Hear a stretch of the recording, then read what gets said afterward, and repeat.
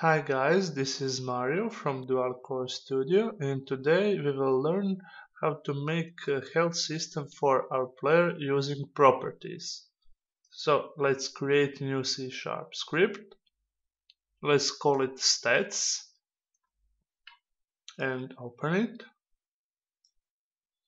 First thing we want to delete mono behavior. Mono behavior is used when we want to add our script to some object. For instance, uh, our script player controls has mono behavior and we added player controls to our object, in this case player. Now if we save this without mono behavior and uh, try to add st stats to our player, it can't be done because we don't have mono behavior. And this is what we need. It's okay. Uh, then we want to delete this.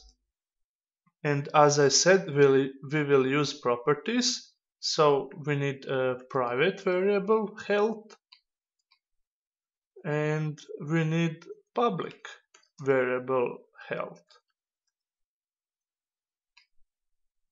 and also we need braces here. And this is our property.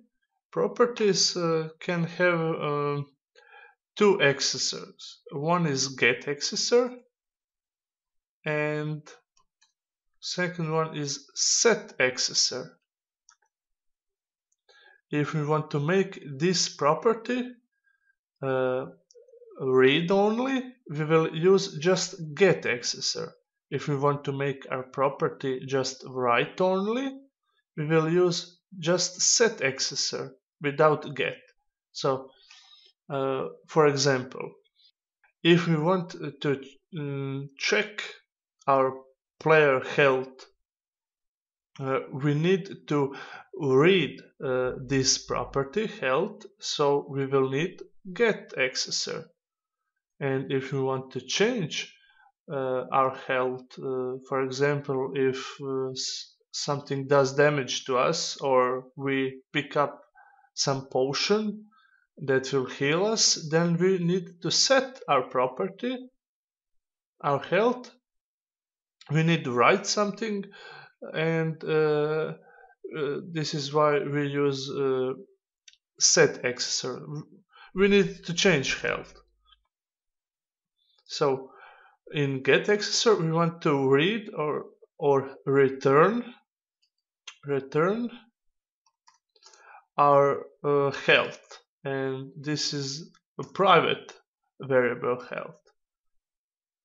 And in set um, uh, accessor we want to set health also equals value so this is this uh, will work mm, just fine but we want our health to um, to have a minimum and maximum value. So we will change this to mathf.clamp we will clamp our value between minimal and maximal maximum value. Uh, minimum will be 0 and uh, max value will be max HP. Uh, we will create a public int max HP so you it's public so you can change it uh, later in the game. Here we need uh, one more thing uh, public function public void uh, set. Set health.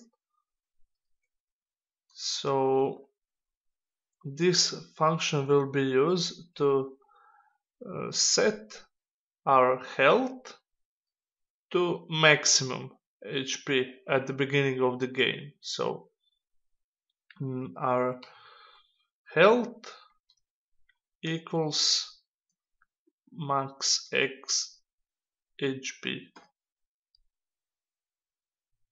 Okay. Mm, now let's go back to Unity and uh, create new C sharp script. Let's call it player, player script. Mm, we will add this script to our player and open it. Here in this um, in this uh, script we want to create uh, instance of this class. So we will use stats. Let's call it player. Stats equals new stats. Here we created instance of uh, this class. And now mm, if we uh, go to unity click play and we we can we can't see these stats uh, this is because we need to do just one more thing here we want uh, our class to be system system serializable. Okay. And now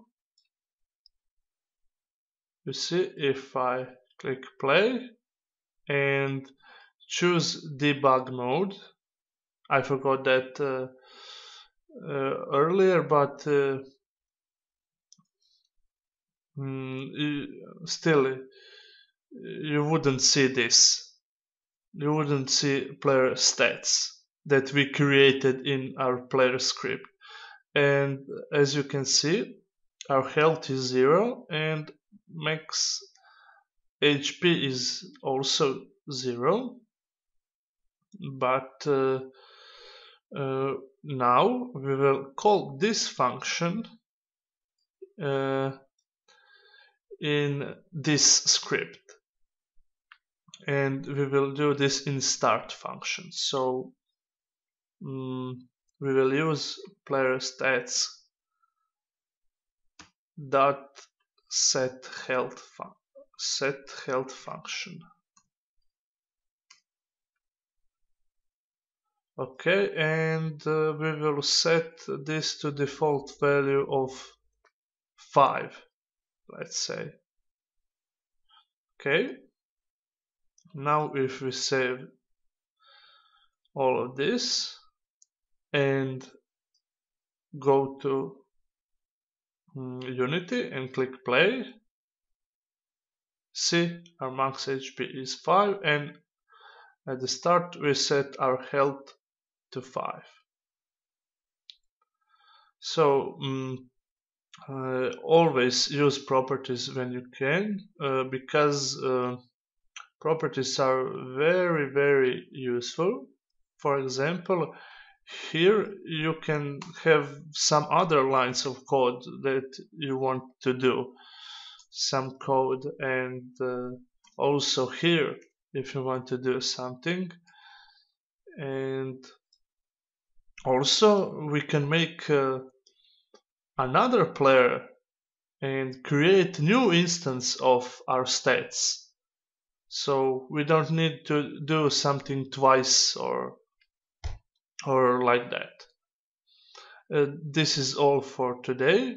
Next time we will uh, make a damage system and some more things. If you like uh, this video please uh, share it and subscribe and see you next week